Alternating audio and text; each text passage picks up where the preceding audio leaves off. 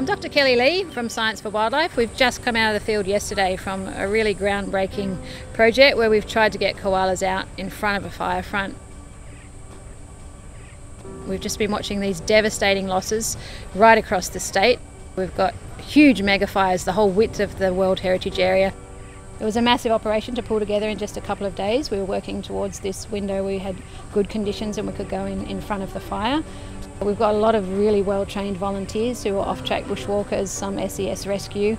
They came and volunteered. So we had teams out radio tracking the animals. We had a base camp where we could put the koalas into safe um, pet transport carriers and look after them. And we had a specialised climbing team that we work with that came up from Victoria who can go up 40 or 50 metre trees to get these koalas down safely. We put in some very long hours and some big hiking over many days, and we're delighted that we've got a good ratio of males and females and also some joeys.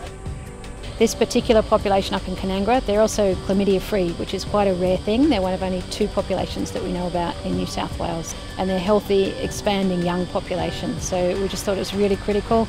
Even though we've got a relatively small number, we just needed to do something and we've done the best we can. We're absolutely delighted that Taronga could house them for us. They said 10 animals, and we thought, well, joeys only count as half an animal, so we've squished in 12, including joeys. They eat eucalyptus leaves and they eat a lot of them. And so we've got ongoing collection of food for them, which is called browse. We've got to do ongoing logistics, potentially from Kanangra Boyd National Park all the way to Mosman every couple of days. Right now, we need funding basically. This project was totally unfunded. We've just done it and we're thinking about it later. We need money to pay for the capture costs, the planning, the logistics, their ongoing care, and also the upcoming release. We really need your help. We need donations to help fund this critical work, so any support you can give would be hugely appreciated.